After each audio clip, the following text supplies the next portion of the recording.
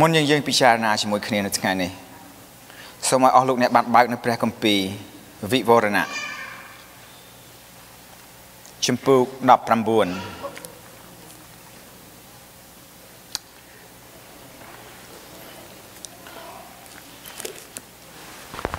ពីខ6ដល់ខ9យើងនឹងអានជាមួយនឹងគ្នា ពីខ6ដល់ខ9សូមចេញក្រោកឈរឡើងយើងនឹងអានជាមួយនឹងគ្នា Revelation chapter 19 verse 6 to 9នោះខ្ញុំឮសូរ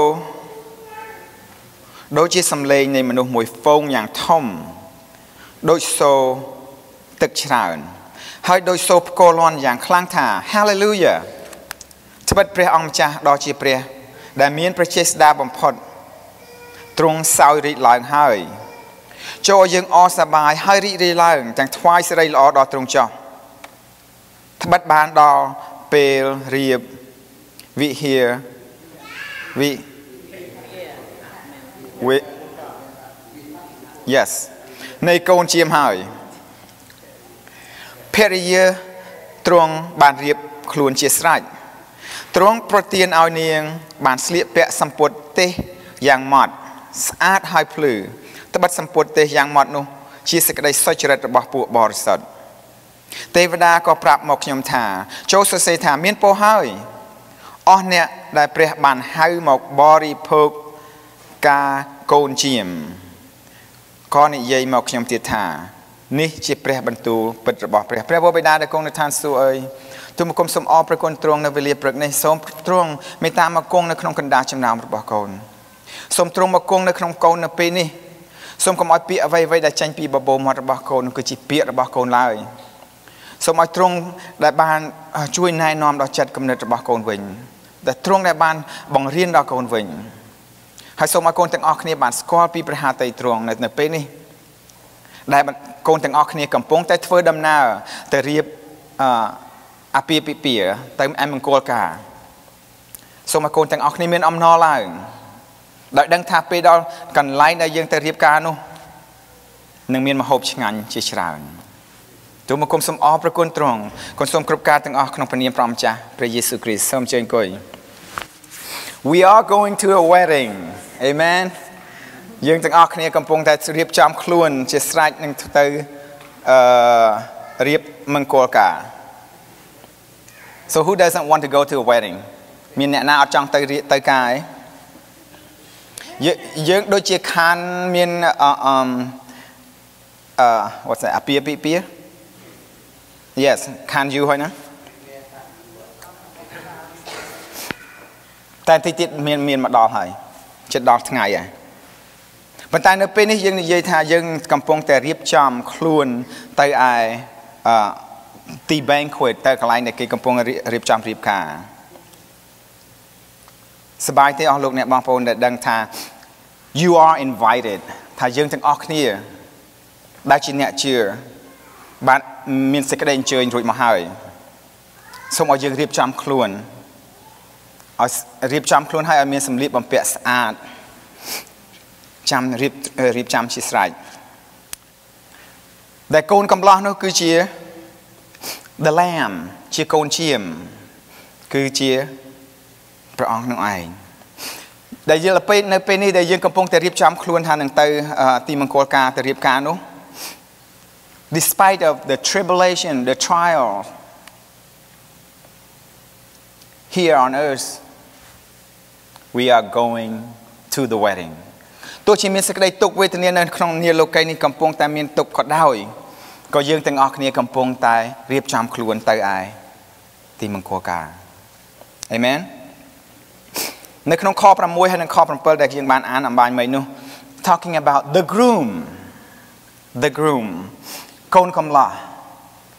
អស់លោកបងប្អូនដឹងថាអ្នកណាជាកូនកំឡោះហ្នឹងលោកពូជាកូនកំឡោះ No not you លោកពូ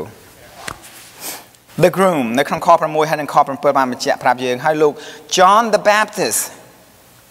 បានហៅគាត់ថាយ៉ាងដូចនេះ the lamb of God នៅក្នុងគម្ពីរយូហានជំពូក1ខ29ថាកូនកំឡោះនេះ គឺជាកូនឈាមនៃព្រះ and Jesus called himself the bridegroom ហើយព្រះយេស៊ូវក៏បានមានបន្ទូលថាដែរនៅក្នុងគម្ពីរម៉ាថាយចំពោះ9ខ15ថាទ្រង់ជាប្តីថ្មោងថ្មី The parable ឥឡូវខ្ញុំចង់យកមកពិចារណាជាមួយគ្នាបន្តិច The parable about the wise and the foolish virgin ចង់និយាយជាមួយគ្នាពិចារណាជាមួយគ្នាបន្តិចអំពីអឺស្ត្រី10នាក់អបអស់លោកអ្នកបងប្អូនចាំទេវាស្ត្រី10នាក់ដែលមានគ្រប់លក្ខនៅឡើយដែលកំពុងតែរងចាំប្តីរបស់ខ្លួនមិនតែទៀតប្តីរបស់នាងនឹងមកចាំទេអឺ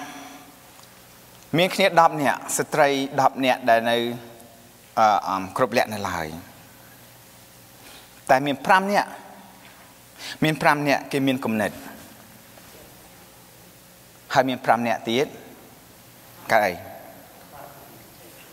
ខ្ជិលអស់លោកអ្នកបងប្អូនអឺនៅក្នុងរឿងនេះ នៅក្នុងព្រះគម្ពីរម៉ាថាយចំពុក25 ពីខ1ដល់ខ13បានបញ្ជាក់ប្រាប់ថាយ៉ាងដូចនេះខ្ញុំនឹងជួយបកស្រាយជូនដល់លោកអ្នកបងប្អូនស្ត្រី5នាក់ដែលមានគំនិតគឺជាស្ត្រីដែលកំពុងតែរៀបចំអង្គុយចាំថ្ងៃដែលប្តីថ្មោងថ្មីរបស់ខ្លួនមកទទួលយកនាងអង្គុយចាំអឺដោយដោយដោយអត់ធ្មត់ប៉ុន្តែ5នាក់ទៀតអស់លោកអ្នកបងប្អូនមិនបានអង្គុយចាំទេ អង្គុយចាំដែរប៉ុន្តែអង្គុយចាំយូរពេកអង្គុយចាំហើយអង្គុយចាំទៀតមិនចេះឃើញមកប្រហែលជាខ្ញុំទៅ shopping សិន Let me go to the mall Ah, he's not coming yet. Um, let me go do my thing. Uh, let me go meet my friends Because I don't think my groom is going to be here yet. 5នាក់ទៀតក៏ក៏ជឿទុកចិត្តថាប្តីនឹងតិចទៀតមកដល់ហើយប៉ុន្តែដោយដឹងថាអង្គុយចាំយូរពេកទៅដើរលេងផ្សារសិនទៅជួបមិត្តភ័ក្តិសិនទៅធ្វើការផ្សេងផ្សេងសិនมันខុសគ្នាជាមួយអស់លោកអ្នកបងប្អូនហើយនឹងខ្ញុំទេជាមួយចំពោះអ្នកដែលជឿផងដែរ និយាយនេះគ្នា10អ្នកនេះគឺអ្នកជឿទាំងអស់គ្នាប៉ុន្តែ5អ្នកគេបានក៏អង្គុយរងចាំ5អ្នកទៀតគេចាំដែរប៉ុន្តែគេចាំដោយមានការធ្វេសប្រហែសនៅពេលដែលគេកំពុងតែនៅម៉លនៅឡើយដើរលេងនៅម៉លកំពុងតែទិញអីវ៉ាន់នៅក្នុងផ្សារនៅឡើយស្រាប់តែមានលឺសូរសំឡេងមកស្រែកថា អ្នកកូនកំឡោះនោះមកហើយ have 10 limousines waiting at the house The five ladies that was in the mall shopping with the friends having a good time dropped everything and ran to the car and drive back to the house ដែល5នាក់ដែលកំពុងតែអង្គុយចាំនៅឡើយនោះតែមាននៅក្នុង mall នោះគាត់បានត្រឡប់ទៅផ្ទះវិញ The limousine shut the door The limousine took off By the time they get home the limousine is gone អឺចង់និយាយថាអ្នក5អ្នកដែលដែលស្ត្រី5អ្នកទៀតដែលគេមិនគេចាំដែរប៉ុន្តែចាំយូរពេកគេដើរលេងហើយឡានឡើងស្អាត limousine probably must 82 we don't know ដល់ពេលគេមកដល់ផ្ទះ limousine ទៅបាត់ហើយបានទៅគោះទ្វារគោះទ្វារប្រំចៅឲ្យសូមបើកទ្វារឲ្យខ្ញុំផង ប៉ុន្តែព្រះតែអ្នកកំឡោះនោះបានឆ្លើយមកវិញថាខ្ញុំមិនដែលស្គាល់អ្នកទេខ្ញុំមិនអាចបើកទ្វារឲ្យអ្នកបានទេទ្វារនៅពេលនេះបាត់ហើយដូចគ្នាដែរមិនខុសគ្នាប្រមាណទេអស់លោកអ្នកបងប្អូននៅថ្ងៃដែលព្រះអង្គយាងមកវិញមានអ្នកជឿជាច្រើនថាព្រះអង្គហើយទូបង្គំជាគ្រូគង្វាល មិនក៏ព្រះអង្គមិនចាំទូបង្គំទេឬអីព្រះអង្គហើយទូបង្គំជាអ្នកចាស់ទុំជាអ្នកដឹកនាំតើព្រះអង្គមិនចាំទូបង្គំទេឬអីព្រះអង្គមានបន្ទូលថា I never knew you I never knew you ថាអញមិនស្គាល់ឯងទេសូមអស់លោកអ្នកបងប្អូនរងចាំប្រយ័ត្ន ជារៀងរាល់ថ្ងៃជារៀងរាល់ពេលដោយដឹងថាយើងជឿព្រះអង្គជាយូរឆ្នាំយូរខែមកហើយបើតែថាព្រះអង្គនៅឯណាទៅអីក៏យូរម្លេះ Let me go shopping first Let me go play lottery I might win the lottery so I can buy you a church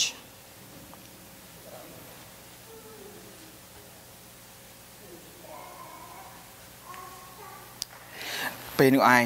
បងអស់លោកអ្នកបងប្អូនហើយសូមឲ្យយើងនឹកចាំដែលដែលជារឿងនៅថ្ងៃនេះនិយាយអំពីស្ត្រី10នាក់នោះគឺចង់និយាយអំពីព្រះយេស៊ូវគ្រីស្ទទ្រង់នឹងយាងមកវិញនៅក្នុងពេលឆាប់ឆាប់នេះឯងសូមឲ្យយើងរងចាំនៅក្នុងខ13ក៏បានប្រាប់ដែរជំពូក25ខ13នឹងបញ្ជាក់ប្រាប់យើងថាឲ្យយើងជឿរងចាំប្រយ័ត្នប្រយ័ត្នដល់ពេលដែលដែលកូនកំឡោះនោះមកដល់ រងចាំមិនបានរងចាំយើង ប្រហែលជាយើងរវល់តែទៅណាមកណាភ្លេចខ្លួនទៅ it is too late សូមឲ្យយើងរងចាំ ពីក្នុងខ7ហើយខ8និយាយពី the bride the bride period bride is តើអ្នកណាគេទៅ period នឹងគឺជាក្រុមជំនុំរបស់យើងនេះឯង the church is the bride Jesus is the groom ព្រះយេស៊ូវគ្រីស្ទទ្រង់ជាកូនកំឡោះយើងទាំងអស់គ្នាដែលជា and every wedding that we attend every wedding that we go to we should reminding us that Jesus Christ and his church សូមឲ្យយើងនឹកចាំពេលណាដែលយើងទៅអឺគេហៅទៅយើងទៅទៅអឺទៅរៀបការកូនគេសូម ឲ្យយើងនឹកចាំពីព្រះយេស៊ូវគ្រីស្ទ That's remind us this what Paul teaching us as a husband and wife the duty កិច្ចការដែលយើងទាំងអស់គ្នាត្រូវធ្វើដែលផ្ដិតជាប្តីហើយនឹងជាប្រពន្ធនៅក្នុងគម្ពីរអេពីសូតចំពុក5ខ22ដល់ខ33ប្រាប់ថាឲ្យយើងធ្វើយ៉ាងដូចម្ដេចទៅដែលជាប្តីហើយភារកិច្ចរបស់ប្រពន្ធជាអ្វី I'll make it very short ខ្ញុំអស់លោកអ្នកបងប្អូនអាចនឹងមើលខ្លួនឯងបានខ្ញុំចង់ប្រាប់យ៉ាងដូចនេះថាប្តីគឺត្រូវការ husband need the respect from the wife and the wife need the love from the husband សូមឲ្យយល់យ៉ាងដូចនេះថាកិច្ចការរបស់យើងដែលយើងជាប្តីហើយជាប្រពន្ធលោកស្វៈពលគាត់បានបង្រៀនយើងនៅពេលនេះ ខ្ញុំយកមកនិយាយឲ្យខ្លីហើយអស់លោកអ្នកបងប្អូនអាចនឹងមើលនៅក្នុងខគម្ពីរខ្លួនឯងបាន គឺយ៉ាងដូចនេះដែលយើងជាប្តីប្រពន្ធត្រូវការនោះគឺត្រូវការសេចក្តីស្រឡាញ់មកអំពីយើងសូមឲ្យយើងស្រឡាញ់ប្រពន្ធរបស់យើងដែលអស់ពីចិត្តមិនមែនគ្រាន់តែធ្វើកិច្ចការអីមួយតិចតួចទេ it it is a commitment it is a sacrificial sacrifice គឺឲ្យយើងលះបង់អ្វីៗសម្រាប់ប្រពន្ធយើងយើងស្រឡាញ់ប្រពន្ធយើងដែលអស់ពីចិត្តហើយចំពោះប្រពន្ធវិញប្តីរបស់យើងគឺត្រូវការឲ្យយើងចេះគោរព That's all The Bible say that that's all បើយើងអាចចេះគោរពប្តីយើងនោះប្តីយើងធ្វើអីក៏ឲ្យធ្វើអីក៏ធ្វើដែរឲ្យទៅលៀងប្រគុណក៏លៀងប្រគុណដែរនេះគឺជាសេចក្តីបង្រៀនរបស់លោកស្វៈពង About a month ago my wife said that too honey all I need from you is love you love me that's it I said wow that's all that's all you need That's what the Bible said ព្រះបន្ទូលរបស់ព្រះអង្គក៏មានបន្ទូលយ៉ាងដូចនេះដែរប្រពន្ធរបស់យើងគឺគ្រាន់តែចង់ឲ្យយើងស្រឡាញ់នាងឲ្យអស់ពីចិត្តគឺចង់ឲ្យយើងលះបង់អ្វីអ្វីសម្រាប់នាងប៉ុន្តែចំពោះប្តីសូមឲ្យប្រពន្ធនឹងចេះគោរពដូចជាយើងគោរពដល់ព្រះយេស៊ូវគ្រីស្ទជាម្ចាស់ជីវិតរបស់យើងដែរ Jesus the the grooms កូនកំឡោះនោះព្រះអង្គបានសគត់នៅលើឈើឆ្កាងជំនួសអំពើបាបរបស់យើង ចំពោះអស់អ្នកដែលជឿ Jesus died to pay for the sin of his bride ដូច្នេះហើយយើងទាំងអស់គ្នាដែលជាប្តីត្រូវឲ្យដឹងភារកិច្ចរបស់យើងដែលថាតើយើងត្រូវធ្វើយ៉ាងណា នៅក្នុងក្រុមគ្រួសាររបស់យើងអ សូមឲ្យយើងស្រឡាញ់ប្រពន្ធយើងកុំឲ្យមានការលាក់លៀម The grace of God makes the bridegroom gowns possible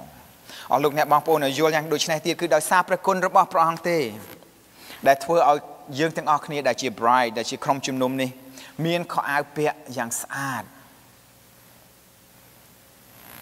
The bride's gown is made of fine linen អស់លោកអ្នកបងប្អូនសូមយល់ឲ្យច្បាស់យ៉ាងដូចនេះថា ដែលសម្លៀកបំពាក់ដែលក្រុមជំនុំដែលអ្នកជឿបានស្លៀកពាក់នោះគឺស្លៀកពាក់ដោយសម្ពុតទេសយ៉ាងម៉ត់ខ្ញុំមិនមិនសូវស្គាល់សម្ពុតទេសយ៉ាងម៉ត់យ៉ាងម៉េចទេប៉ុន្តែខ្ញុំដឹងថាសម្ពុតទេសយ៉ាងម៉ត់នោះប្រកាសជាល្អមែនទែនស្អាតមែនទែនផាជាស្អាតជាងហូលប្រមួងផងក៏មិនដឹង um the fine linen ដែលសម្ពុតទេសឯកនេះគឺចង់និយាយថាពី the righteousness of saint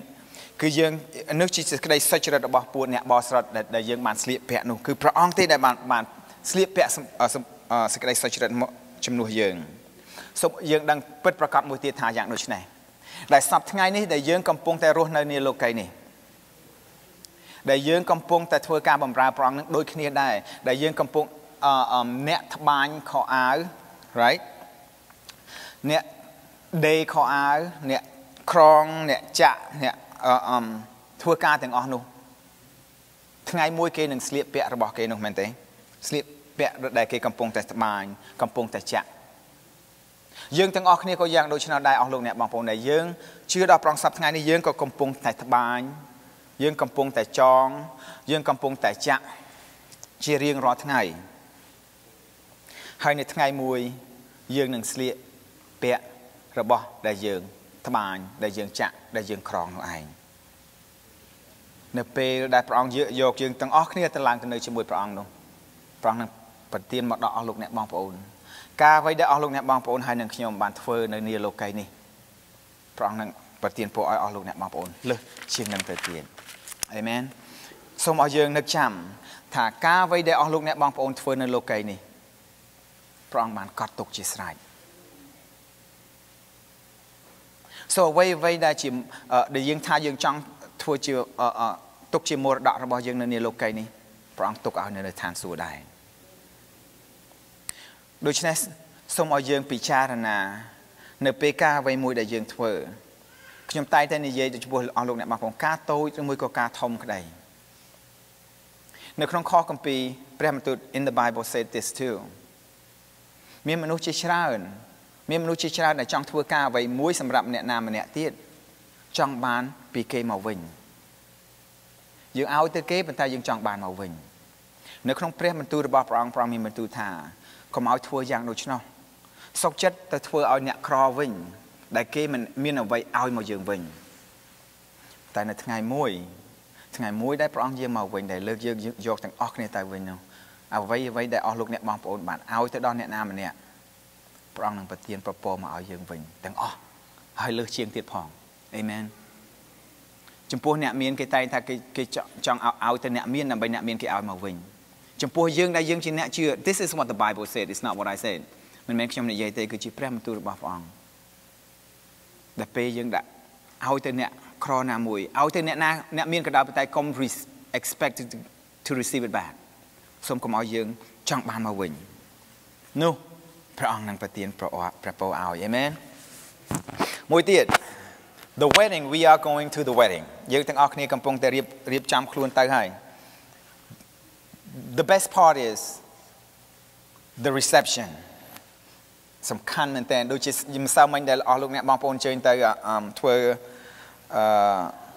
baby shower នោះអាហ្នឹងក៏ដូច reception ចឹងដែរពីព្រោះពេលយើងទៅ reception ហ្នឹងទៅទៅធ្វើម៉េច យើងទៅ eat យើងទៅញ៉ាំហើយមហូបប្រកាសជាឆ្ងាញ់ហើយមែនទេមហូបឆ្ងាញ់ឆ្ងាញ់ណាស់អឺនៅក្នុងខ9បានបញ្ជាក់ប្រាប់យើងថាមានពោហើយអស់អ្នកណាដែលព្រះបានហៅមកបរិភោគការការនឹងមកជួបមង្គលការនឹងឯងការកូនជាម Blessed are those who are invited to the wedding អស់លោកអ្នកបងប្អូនសូមខ្ញុំក៏យល់ដែរថា ពពេលណាដែលយើង មានអ្នកណាគេអញ្ជើញអស់លោកអ្នកបងប្អូនទៅមង្គលការគេនោះ it's an honor right ដូចយើងមានមានមានអឺមានកិត្តិយសដោយដឹងថាគេបានអញ្ជើញយើងទៅអឺការកូនគេនៅក្នុងខនេះព្រះយេស៊ូវក៏មានបន្ទូលដែរថាមានពោហើយអស់អ្នកណាដែលបានហៅដែលបានអញ្ជើញទៅបរិភោគនគរការ អស់លោកអ្នកបងប្អូនហើយនឹងខ្ញុំ we are invited to the wedding amen យើងទាំងអស់គ្នាដែលជាអ្នកជឿព្រះអង្គបាននៅកុំអញ្ជើញទេព្រះអង្គបានហៅយើងឲ្យទៅទទួលបរិភោគនៅមង្គលការនេះហើយយើងសប្តាហ៍ថ្ងៃក៏យើងដឹងដែរដែលយើងរស់នៅនាលោកីនេះពេលណាដែលអ្នកណាមួយអញ្ជើញយើងទៅនោះគឺយើងមានកិត្តិយសណាយើងអរណាដែលដឹងថាហើយអ្នកដែលអញ្ជើញនោះប្រកាសជាគេ ទុកចិត្តដល់យើងផងដែរប្រកាសជាគេស្រឡាញ់រាប់អានយើងមែនទែនបានគេគេអញ្ជើញយើងទៅមែនទេបើគេមិនដែលស្គាល់យើងគេមិនហៅយើងទេព្រះរបស់យើងទ្រង់ស្គាល់អស់លោកអ្នកបងប្អូនព្រះរបស់យើងយល់ហើយអត់ទោសហើយមានសេចក្តីមេត្តាករុណាអញ្ជើញអស់លោកអ្នកបងប្អូនទាំងអស់គ្នាឲ្យទៅបរិភោគនៅនៅពេលដែលអឺការកូនឈាមនេះអឺ ហើយនៅកន្លែងរៀបការនោះមានគេការជប់លៀងដ៏ពិសេសនៅនៅឯឋានសួគ៌នោះ um God food I mean good food God food good food will tell you exactly um the best food in heaven right នៅនៅឋានសួគ៌នោះប្រកាសជាមានម្ហូបដ៏ឆ្ងាញ់មែនទែន ខ្ញុំសូមជម្រាបខ្ញុំឮសូរលោកពូគាត់មានប្រសាសន៍មិញថាពេលលោកគ្រូអែមកានទៅនៅជាមួយព្រះអង្គគាត់មិនដើរចឹងទៀតទេប្រកាសជាគាត់រត់ប៉ុន្តែនៅ reception នេះនៅពេលដែលយើងជប់លៀងនេះជប់លៀងការកូននេះអស់លោកអ្នកបងប្អូនអ្នកណាដែលមានអឺ what is it called អឺលើសឈាមខ្វះឈាម what is it No yeah មិនមិនភ្លេចចោលគឺមិនភ្លេចចោលរហូតអ្នកណាដែលថា diabetes អ្នក yeah ដែលអ្នកអ្នកណាថាដែល cholesterol high cholesterol I can eat ប៉ុន្តែនៅក្នុងថ្ងៃនោះអស់លោកអ្នកបងប្អូនអត់មានទេទេ If you allergic to shrimp មិនញាក់ញាក់ភាសា shrimp បាននៅថ្ងៃនោះអស់លោកអ្នកភាសាបានហើយបើថាខ្លាចកំពុងតែលើសឈាមខ្វះឈាមអីហ្នឹងត្រង់ខ្លាចខ្វះខ្លាចលើស នៅថ្ងៃនោះអស់លោកអ្នកបងប្អូនអត់ខ្វល់អ្វីទៀតទេនៅថ្ងៃនោះលោកពូនឹងមានថ្មិញសាឡើងវិញលោកពូថាខ្ញុំចិត្តអស់សក់នៅថ្ងៃនោះខ្ញុំមានសក់វិញពេញសក់វិញពេញហើយនៅថ្ងៃដែល reception នៅថ្ងៃដែលយើងទៅជួបទៅទៅទទួលទានមហូបអាហារនោះទៅជប់លៀងនោះយើងអាចទទួលទានអ្វីអ្វីទាំងអស់ក៏បានដែរកុំឲ្យខ្លាចឡើងធាត់ខ្លាច ស្គមនៅថ្ងៃនោះអស់លោកអ្នកបងប្អូនអាចធ្វើអ្វីៗបានទាំងអស់នៅថ្ងៃដែលប្រងបានអញ្ជើញអស់លោកអ្នកបងប្អូនទៅអស់លោកអ្នកបងប្អូននឹងបានទទួលសពគ្រប់ទាំងអស់ Um so don't worry that day will come but as right now we are invited to the wedding សូមឲ្យយើងកុំឲ្យខ្វល់ខ្វាយយើងដឹងហើយថាបន្តិចទៀត យើងនឹងបានទទួលម្ហូបដល់កូនគេនៅនៅនាលោកីនេះមាន lobster មានទាខ្វាយមានអីនឹង good No ពេលទៅដល់ឋានសួគ៌ម្ហូបឆ្ងាញ់ជាងនឹងទៅទៀត So there is a good reason for us to celebrate ដូច្នេះជាពិសេសយើងទាំងអស់គ្នាយើងកំពុងតែរងចាំនឹងឯងរងចាំទៅនៅថ្ងៃដែលយើងអរសប្បាយជាមួយនឹងគ្នា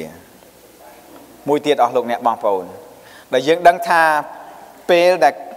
ការថ្មោងថ្មីនោះគឺចង់មានមានមានមានន័យយ៉ាងដូចនេះមានន័យថាយើងស្រឡាញ់គ្នាដោយអស់ពីចិត្តហើយអ្នកកំឡោះនោះគឺព្រះយេស៊ូវដែលព្រះអង្គស្រឡាញ់យើងទាំងអស់គ្នានៅក្នុងគម្ពីរយូហានចំពុក3ខ16បានមានបន្ទូលថាថាម៉េចត្បិតអ្នកកំឡោះនោះស្រឡាញ់ ដល់ក្រុមជំនុំដល់អ្នកជឿបើព្រះទ្រង់ស្រឡាញ់យើងទាំងអស់គ្នាសុកចិត្តសុកចិត្តយកកំឡោះនោះសុគតជំនួសអំពើបាបរបស់អស់លោកអ្នកបងប្អូនអេមែនសូមឲ្យយើងនឹកចាំនឹកចាំពីសេចក្តីស្រឡាញ់របស់ព្រះយេស៊ូវមកដល់យើងទាំងអស់គ្នាដែលជាក្រុមជំនុំហើយនឹងសេចក្តីស្រឡាញ់របស់ព្រះអង្គនោះ will last forever គឺថានៅអស់កលជានិច្ចសេចក្តីស្រឡាញ់របស់ព្រះអង្គអឺខ្ញុំជឿថានៅពេលដែលយើងទៅដល់ទីកន្លែងមង្គលការនោះប្រកាសជាមានអ្នកចម្រៀងលេងដែរ maybe it's not so common play the music ប៉ុន្តែខ្ញុំជឿថាប្រកាសជាមានអ្នកអឺទេវតារបស់ព្រះអង្គនឹងនឹងច្រៀងសរសើរដំកើងព្រះអង្គហើយយើងទាំងអស់គ្នានឹងនាំគ្នាដើរចូលទៅចូលទៅទីកន្លែងនោះ ប្រហែលជាអ្នកមីងឡើងច្រៀងដែរក៏មិនដឹងដែរ Amen Again ខ្ញុំសូមជម្រាបថាយើងកំពុងតែធ្វើដំណើរទៅទីមង្គលការហើយ and I will close with this story ខ្ញុំនឹងសូមបញ្ចប់នៅក្នុងរឿងមួយទៀតដើម្បីឲ្យអស់លោកអ្នកបងប្អូនពិចារណាជាមួយនឹងគ្នា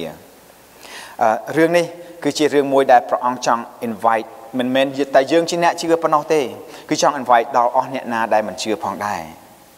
នេះគឺជារឿងមួយ មានបរិះម្នាក់ again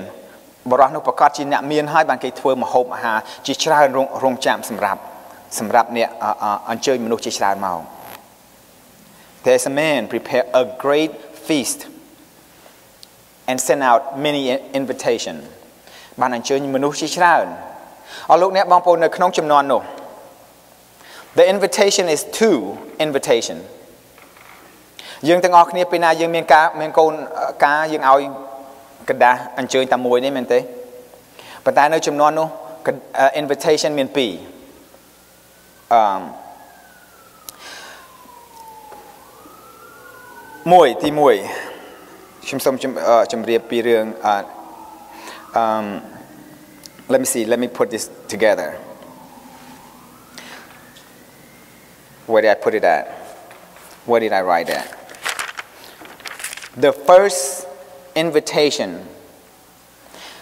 ចង់និយាយថាពីกระดาษអញ្ជើញមុនដំបូងគឺប្រាប់ថានឹងមានកន្លែងមួយដែលនឹងមានកិច្ចការកើតឡើងនឹងទី1 and ទី2ចង់ប្រាប់ថា សូមអញ្ជើញមកពីព្រោះកន្លែងកន្លែងនឹងរៀបចំរួចហើយរួចហើយរួចស្រេចអស់ហើយសូមអញ្ជើញមកតែខ្ញុំចង់ជម្រាបពីរឿងនេះមួយដែលដែលមានបុរសម្នាក់នេះគាត់កំពុងតែរៀបចំកន្លែងជប់លៀងយ៉ាងធំដូច្នេះមានន័យថា there is a rich man prepare this great feast តែគាត់កំពុងតែរៀបចំកន្លែងយ៉ាងស្អាតនោះហើយគាត់បានហៅឲ្យអ្នកបម្រើរបស់គាត់ទៅអញ្ជើញគេមកអញ្ជើញនឹងសិតតអ្នកមានដូចគ្នាទៀត សិតតអ្នកធំដុំ lawyer doctors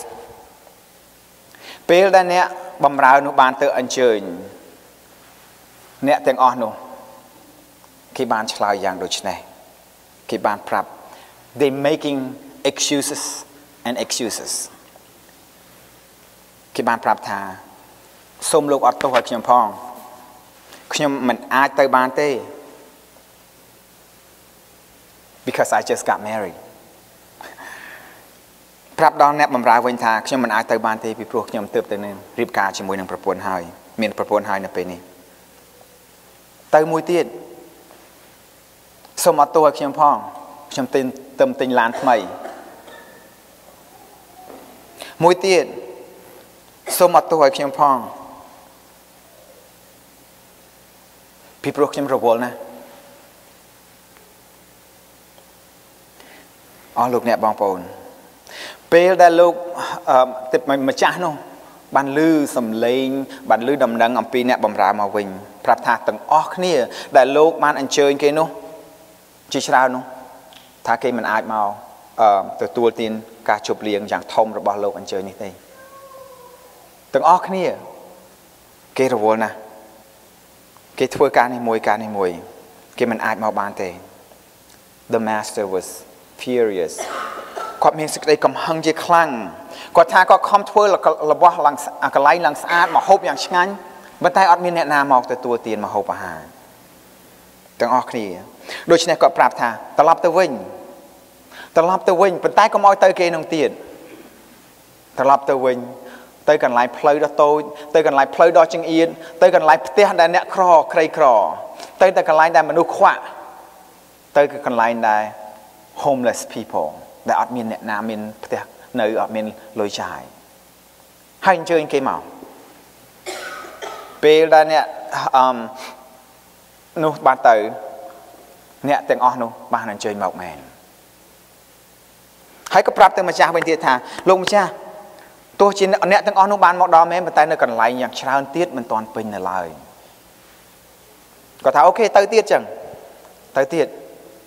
ដើររកគ្រប់កន្លែងដើម្បីឲ្យនាំអ្នកទាំងអស់នោះមកវិញអ្នកម្ចាស់នោះបាននិយាយយ៉ាងដូចនេះបាននិយាយយ៉ាងដូចនេះឯពួកមនុស្សទាំងប៉ុន្មានដែលអញបានអញ្ជើញមុនដំបូងមុននោះដែលពេលលើកដំបូងដែលគាត់បានអញ្ជើញអ្នកមានទាំងអស់នោះឲ្យអញ្ជើញមកនោះគាត់បាននិយាយយ៉ាងដូចនេះអញលែងឲ្យអ្នកណាមួយភ្លក់មហូបរបស់អញហើយ សូមឲ្យយើងពិចារណាកន្លែងហ្នឹងបន្តិច He said, For none of those I first invite will get even the smallest taste of my banquet នៅពេលនេះអ្នកម្ចាស់នោះគាត់ថាគាត់ខឹងហើយគាត់បានប្រាប់ថាទោះជាមហូបដ៏តូចបំផុតនៅថ្ងៃនោះនៅថ្ងៃមួយអ្នកនោះមិនបានភ្លក់ទេសូមឲ្យយើងទាំងអស់គ្នាពិចារណានៅកន្លែងនេះចង់និយាយអំពីមនុស្សលោក ដែលកំពុងតែរស់នៅសប្តាហ៍ថ្ងៃដែលពេលអស់លោកអ្នកបងប្អូនចាស់ទុំបានទៅអញ្ជើញគេមកឲ្យព្រះវិហារគេថាខ្ញុំរវល់ណាស់ខ្ញុំមិនមកទេ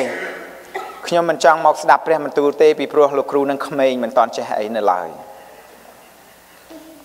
It's okay It's okay ខ្ញុំមិនអាចមកបានទេពីព្រោះខ្ញុំរវល់ណាស់ ខ្ញុំទឹមទិញឡាន Lamborghini It's okay ប៉ុន្តែនៅថ្ងៃចុងបំផុតនោះអ្នកទាំងអស់នោះមិនបានទទួលជីវិតអស់កលជានិច្ចទេនៅពេលនេះចង់និយាយអំពី God want to invite anyone ព្រះអង្គចង់អញ្ជើញចង់អញ្ជើញទាំងអស់អ្នកណាក៏ដោយឲ្យបានស្គាល់ដល់ព្រះហត្ថីរបស់ព្រះអង្គហើយឲ្យបានរួចពីសេចក្តីស្លាប់ ខ្ញុំចង់យកមួយទៀតមកនិយាយប្រាប់ដល់លោកអ្នកបងប្អូនអឺដែលមានពីរដែលសេចក្តីអញ្ជើញពីរនេះគាត់ពិចារណាជាមួយគ្នានៅក្នុងព្រះគម្ពីររបស់ព្រះអង្គដែរ God first invitation came from Moses សេចក្តីអញ្ជើញរបស់ព្រះអង្គជាដំបូងបង្អស់គឺតាមរយៈលោកម៉ូសេលោកម៉ូសេក៏បានអញ្ជើញហៅគេឲ្យគេមកស្គាល់ព្រះអង្គ The second invitation that God gave it to the people the Israelite and the whole world was came from his son ព្រះអង្គបានអញ្ជើញគេសម្បត្តិទី2គឺគឺជាព្រះយេស៊ូវគ្រីស្ទដែលព្រះអង្គបានចាត់ព្រះយេស៊ូវមកនៅចំនួននោះ the religious leader accept the first invitation ដែលពេលអ្នកអ្នកអ្នកដែលសង់ទាំងប្រមាណដែលគេជឿដល់ព្រះហើយនោះគេទទួលគេទទួលស្គាល់នៅសេចក្តីអញ្ជើញទី1 ពីព្រោះគេដែលគេជឿថា ព្រះបានហៅគេ ព្រះបានរាប់គេជាកូនរបស់ព្រះ គេទទួលស្គាល់នៅការហ្នឹងប៉ុន្តែគេមិនបានទទួលស្គាល់សេចក្តីអញ្ជើញទី2ទេដែលពេលព្រះយេស៊ូវគ្រីស្ទយាងមកនោះគេមិនបានទទួលស្គាល់ទេដូចជាអ្នកមានទាំងអស់នោះដែរដែលពេលអញ្ជើញមុនដំបូងប្រាប់ថានឹងមានទីកន្លែងមួយចង់អញ្ជើញអស់លោកអ្នកបងប្អូនមកគេស្ដាប់គេទទួលស្គាល់ពីការហ្នឹង ប៉ុន្តែដល់ថ្ងៃដែលដែលដែលមហូបរៀបចំរួចហើយកន្លែងរៀបចំរួចហើយពេលគេហៅមកតែថានៅថ្ងៃនោះគេរវល់ណាស់កន្លែងនេះអស់លោកអ្នកបងប្អូនសូមឲ្យយើងពិចារណាឲ្យមែនទែនសូមកុំឲ្យយើងដូចជាស្ត្រី5នាក់នោះឡើយកុំឲ្យដឹងថាខ្ញុំមកព្រះវិហារជារៀងរាល់ថ្ងៃហើយខ្ញុំក៏អង្គុយចាំជាយូរណាស់មកហើយប៉ុន្តែខ្ញុំលិតខ្ញុំភ្លេចសិនខ្ញុំទៅហៅធ្វើអ្វីមួយខ្ញុំភ្លេចសិនភ្លេចនៅសេចក្តីអធិដ្ឋានដល់ព្រះអង្គ ខ្ញុំភ្លេចសិនភ្លេចនឹងនឹងអាននៅព្រះបន្ទូលរបស់ព្រះអង្គសូមអស់លោកអ្នកបងប្អូនហើយនឹងខ្ញុំកុំឲ្យភ្លេចនៅក្នុងការនោះនៅពេលដែល limousine come over and come and pick you up and when you're not ready the limousine is going to take off នៅពេលដែលថ្ងៃដែលព្រះអង្គយាងមកវិញបើយើងមិនបានរៀបចំប្រុងប្រយ័ត្នខ្លួនជាស្រេចនោះប្រយ័ត្នយើងស្ដាយក្រោយសូមឲ្យយើងទាំងអស់គ្នារងចាំជានិច្ចនៅពេលនេះព្រះអង្គបាន send his only son គឺព្រះអង្គម្ចាស់ព្រះយេស៊ូវគ្រីស្ទដើម្បីឲ្យអស់លោកអ្នកបងប្អូនហើយនឹងខ្ញុំហើយនឹង the whole world know him that is only him that we can be saved ដោយសារតែព្រះយេស៊ូវគ្រីស្ទព្រះអង្គម្ចាស់ប៉ុណ្ណោះដែលយើងទាំងអស់គ្នាបានសង្គ្រោះ and God never ask to give you or to give to for you to give up something that is good Unless unless he plans to replace something even better អស់លោកអ្នកបងប្អូនសូមយល់ឲ្យច្បាស់កន្លែងនេះថាព្រះអង្គមិនដែលទៀមទាមិនដែលចង់បានអ្វីពីអស់លោកអ្នកបងប្អូនដែលអស់លោកអ្នកបងប្អូនកំពុងតែមានរួចមកហើយនោះទេលុះត្រាតែព្រះអង្គទ្រង់ជ្រាបថានឹងមានរបស់ប្រសើរជាងនឹងទៅទៀតបើសិនជាព្រះអង្គដកយកការអ្វីមួយចេញពីអស់លោកអ្នកការងាររបស់បងប្អូនធ្វើការនៅថ្ងៃនេះព្រះអង្គនឹងប្រទានពរការងារល្អប្រសើរជាង ការងាររបស់អស់លោកអ្នកបងប្អូនទៀតអេមែនសូមឲ្យយើងយល់ឲ្យច្បាស់កន្លែងនេះព្រះអង្គមិនចង់បានអ្វីពីអស់លោកអ្នកបងប្អូនទេលុះត្រាតែព្រះអង្គទ្រង់ជ្រាបទ្រង់ដឹងថានឹងមានរបស់ប្រសើរជាងនឹងទៅទៀតហើយមួយទៀតក៏ព្រះអង្គមិនដែលអញ្ជើញអស់លោកអ្នកបងប្អូនទៅឲ្យ boot camp ដែរអស់លោកអ្នកបងប្អូនស្គាល់ boot camp ទេអ្នកធ្វើទាហានស្ដឹងយល់ពីពី boot camp នោះខ្ញុំក៏បានទៅជួបនៅក្នុង boot camp នោះដែរចង់រត់ រត់លុតផ្លោះលបងដែរតែម្ដាយខ្ញុំថាកុំយើងសម្រេចចិត្តថាចូលធ្វើទាហានយើងត្រូវតែនៅរហូតដល់ចប់ប៉ុន្តែនៅក្នុង boot camp នោះពិបាកណាស់គេលុតដំយើង yes លោកគ្រូលុតដំយើងហើយឲ្យយើងគេងតែ3 4ម៉ោងយកអាធុងសារ៉ាមនោះវាយដាក់តិចថ្លង់យ៉ាងងាប់ហើយលោតងើបរត់ជាមួយគេអាភ្នែកនៅបិទឡើយតែជើងចេះរត់ដូច្នេះព្រះអង្គមិនដែលនាំយើងទៅឲ្យ boot camp ទេ ព្រះអង្គមិនដែលលុនតួយើង I mean លុតដំយើងយ៉ាងដូច្នោះទេសូមឲ្យយើងចាំឲ្យច្បាស់ប៉ុន្តែព្រះអង្គនាំយើងទៅកន្លែងទីជប់លៀងដ៏ពិសេសមហូបដ៏ឆ្ងាញ់កន្លែងដ៏ប្រសើរជាងកន្លែងដែលយើងថាយើងកន្លែងនេះយើងប្រសើរនៅកន្លែងព្រះអង្គនឹងប្រសើរជាងយើងទៅកន្លែងយើងនេះទៅទៀតដូច្នេះនៅថ្ងៃមួយអស់លោកអ្នកបងប្អូនហើយនឹងខ្ញុំនឹងបានទៅជួបជុំព្រះអង្គ អស់កាលជានិច្ចអេមែនយើងទាំងអស់គ្នាកំពុងតែនៅចាំរងចាំនៅពេលនោះឯង You are invited អស់លោកអ្នកបងប្អូនសេចក្តីអញ្ជើញរបស់ព្រះអង្គម្ចាស់ព្រះវរបិតានៃយើងបាន invite យើងហើយ The Holy Spirit is still inviting ព្រះវិញ្ញាណបរិសុទ្ធនៅកំពុងតែអញ្ជើញយើងទាំងអស់គ្នាជារៀងរាល់ថ្ងៃរហូតដល់ថ្ងៃព្រះអង្គយាងមកវិញ And believe it or not many of them many of them still making excuses ទោះជាយ៉ាងណាក៏ដោយក៏នៅតែមានមនុស្សជាច្រើនមិនព្រមទទួលស្គាល់ព្រះអង្គ but it's okay our job ភារកិច្ចរបស់យើង គឺយើងគ្រាន់តែស្រឡាញ់គេហើយប្រាប់គេពីដំណឹងល្អតែប៉ុណ្ណោះសូមឲ្យយើងមកប្រាប់ដល់អ្នកក្រដល់អ្នកមានផងដែរដល់អ្នកដែលខ្វាក់អ្នកខ្វិន ឲ្យគេបានអញ្ជើញមកអឺអាយទីមង្គលការនេះ Amen I'm going to close with this I know it's almost time I'm going to ask you for 5 more minutes if any one of you that has a conviction, that has something in your heart that you have not let go. And you want God to clean you up,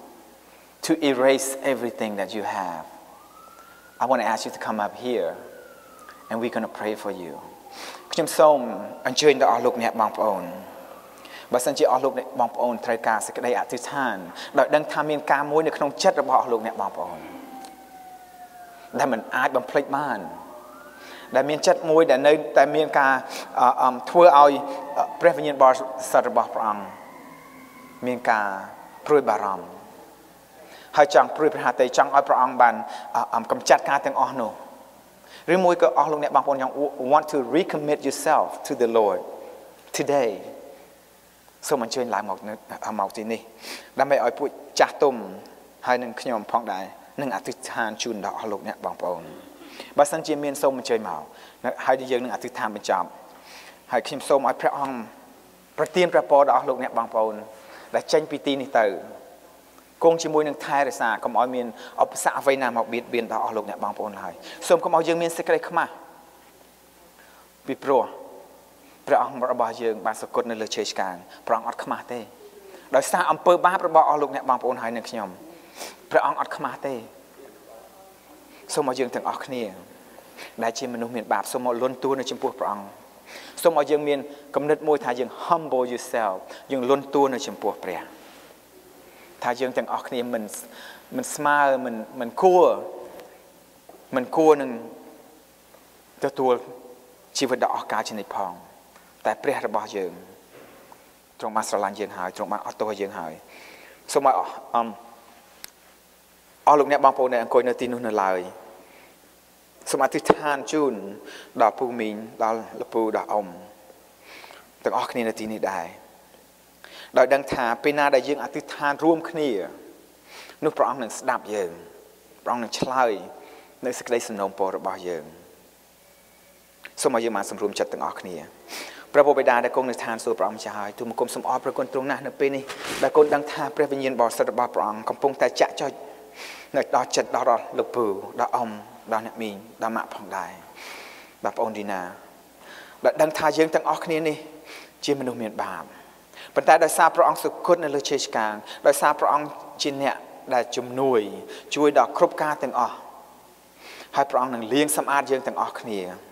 ចាប់ពីថ្ងៃនេះតទៅ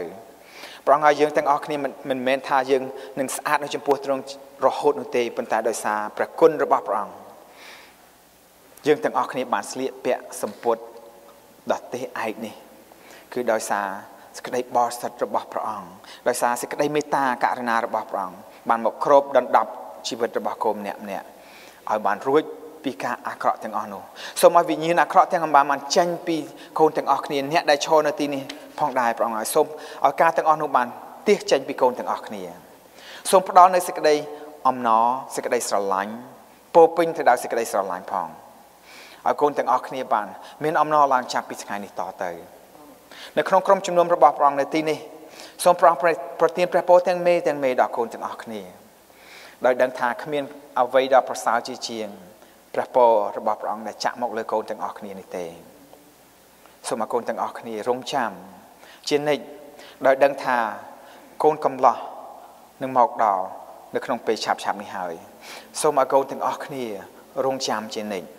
ជារៀងរាល់ថ្ងៃរៀងរាល់ពេលរៀងរាល់វេលា ដោយដឹងថាថ្ងៃមួយថ្ងៃមួយ យើងនឹងបានទៅជួបព្រះអង្គហើយនឹងរស់នៅជាមួយនឹងព្រះអង្គជារៀងរហូតអស់កាលជានិច្ចសូមព្រះអង្គប្រទានពរដល់អស់លោកអ្នកបងប្អូនហើយនឹងក្រុមជំនុំព្រះអង្គនៅទីនេះផងដែររហូតដល់ថ្ងៃដែលយើងជួបជុំគ្នាម្ដងទៀត in Jesus name សូមព្រះអង្គប្រទានព្រះពរដល់អស់លោកអ្នកបងប្អូន God bless you